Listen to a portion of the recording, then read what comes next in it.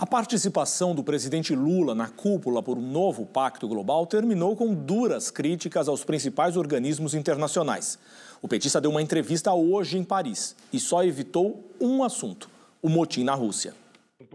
O presidente Lula preferiu não comentar a crise na Rússia. Eu, quando chegar ao Brasil, que eu me informar de tudo o que aconteceu ontem, que tiver várias informações, aí eu posso te falar. Mas agora seria chutar sabe, de forma precipitada uma informação que eu não tenho. Eu ouvi dizer, mas não tenho informação e eu pretendo não falar de uma coisa tão sensível sem ter as informações necessárias.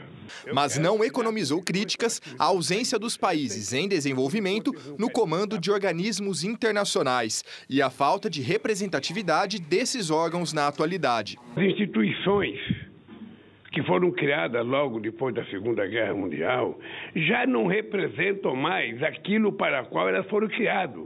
O Banco Mundial não representa mais, o FI não representa mais e a própria ONU já não representa mais.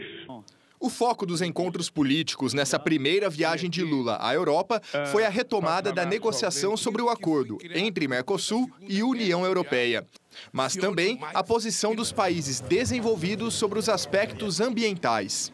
Sem uma governança global que tome decisões e essas decisões sejam efetivadas e controladas por essa governança global, a gente tem pouca chance de ver as coisas acontecer. A Europa também, as lideranças europeias, eu acredito que ainda eles não é, calibraram bem a, a, forma pela qual poderia negociar com o Brasil e o Mercosul. Porque quando estava o Bolsonaro, havia uma, alguns argumentos muito fortes, né? Alguém que, que despreza a questão ambiental, né? alguém que não tem compromisso com é, os direitos humanos. Não é o caso do Lula. É importante que o Brasil converse com todo mundo é, que faz parte do sistema internacional, mas também é importante que algumas declarações sejam medidas, porque é, por mais que o diálogo seja importante, algumas declarações podem criar obstáculos para a atividade e para os interesses do Brasil no exterior.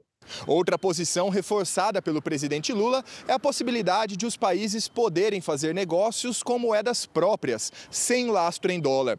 Mas a medida já utilizada pelo Brasil e por outros países em relações com a China, por exemplo, é vista com algumas ressalvas. É possível sim que se adote o yuan, mas a China, os indicadores econômicos da China são muito menos transparentes neste momento do que os indicadores econômicos dos Estados Unidos. Isso gera desconfiança do mercado internacional.